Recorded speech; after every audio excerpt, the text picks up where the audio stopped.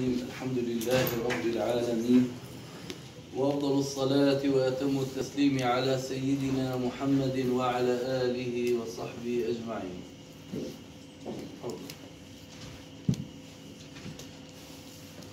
قال الشيخ إن فوائد البنوك حرام مئة في المئة. حط الواحد أو بيسحب قرض ب مئة ألف مثلا ليرة تركي أو مئة ألف ليرة سوري لازم فبيعطوه عليه فائدة. بدون ما يكون بيناتهم عقد استثمار. هي الفائدة مقابل إنه نحن حترجع لنا إياهم ب 15 سنة. هذه الفوائد حرام. قال تعالى يا أيها الذين آمنوا لا تأكلوا ربا اضعافا مضاعفة. واتقوا الله لعلكم تفلحون. واتقوا النار التي أعدت للكافرين. وأطيعوا الله ورسوله لعلكم ترحمون. وقال تعالى فإن لم تفعلوا فأذنوا بحرب من الله ورسوله. اللي ما بيترك الربا الأمة اللي ما بتترك الربا تسلط عليها الحروب. وإن تبتم فلكم رؤوس أموالكم. لا تظلمون ولا تظلمون. رؤوس أموالكم يعني لما بيتوب الإنسان يقول أنا باخذ رأس مالي وما بدي شيء غيره. تبانا طيب. آه النبي عليه الصلاة والسلام بحجة الوداع قال وإن ربا الجاهلية موضوعة تحت قدم. ربا الجاهلية. كانوا الجاهلية يذلوا الناس بالربا. طبعا الربا تعني إنه ما في رحمة. هلأ الدين يعني إنه في رحمة. أنا لما بيجي بدي اتدين من الشيخ وليد مبلغ.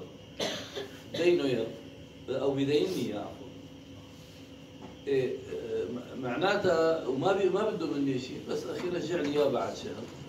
انتبهنا؟ لأنه الواحد بده يرتب أموره المالية.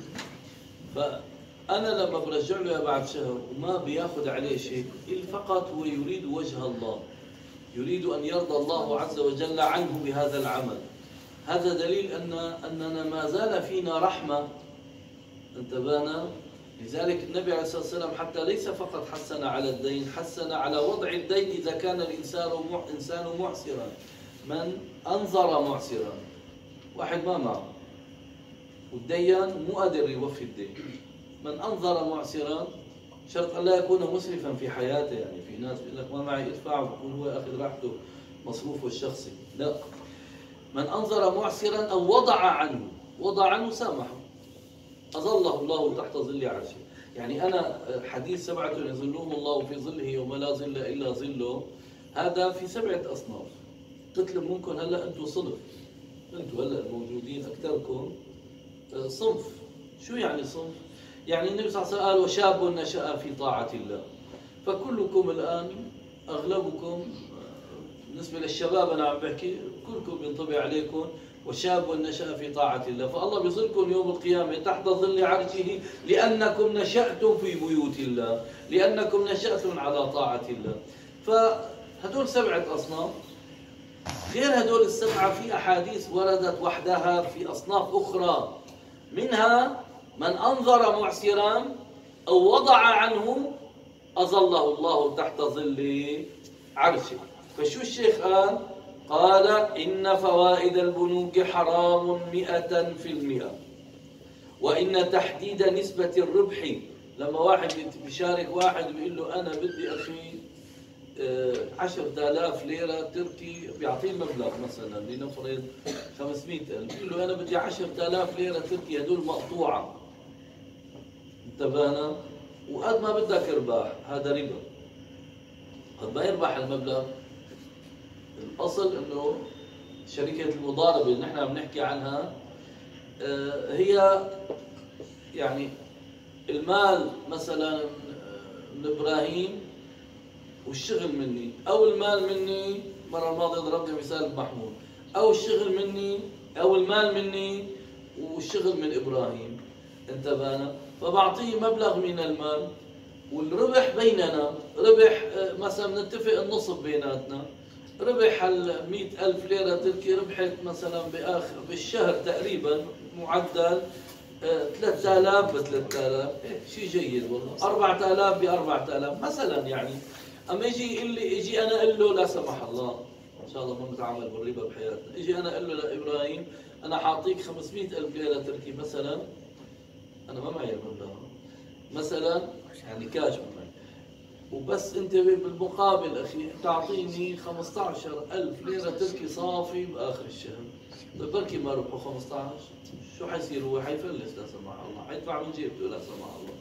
تبانا لذلك المبلغ المقطوع لا يجوز. شو قال الشيخ؟ قال وإن تحديد نسبة الربح هي الربا بعينه وليست هذه المعاملات. تحديد نسبة الربح يعني يقول له بدك تعطيني 10000 مقطوعة بهذه الشركة وليست هذه المعاملات من قبيل المضاربة من قريب أو بعيد بل هي افتراء على شريعة الله. في ناس صايرين مثل آه، تعرف اللي بيبيعوا هذا الوجبات الجاهزة الهمبرجر أو البرجر يعني. تعرفوا هذول؟ في ناس هيك من بعض اللي بيدعوا الدين قاعدين بس يجهزوا عندهم فتاوى جاهزة. كل فتوى على قد بقى المستوى يعني إذا كانت سياسية إذا كانت فبياخذ بس هو قديش بدك تدفع له؟ ما عنده دين، ما عنده مخافة من الله، مستعد يفتي أي شيء، لا ما بيصير هذا الكلام. إن هذا العلم دين فانظروا عمن تأخذون دينكم.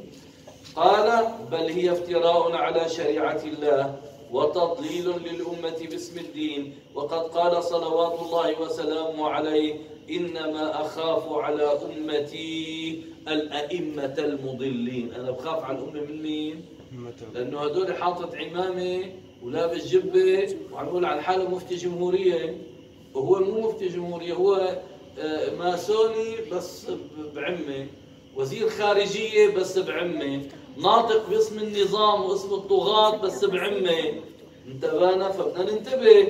هل يتحمل البنك أو المرابي الخسارة مع المستثمر حتى ما نقول حتى نقول إنما يفعله البنك مع عملائه هو من باب المضاربة الشرعية أو الاستثمار الشرعي وليس من قبيل الربا؟ إن من يحللون فوائد البنوك ويعتبرونها استثمارا شرعيا يكذبون على الله.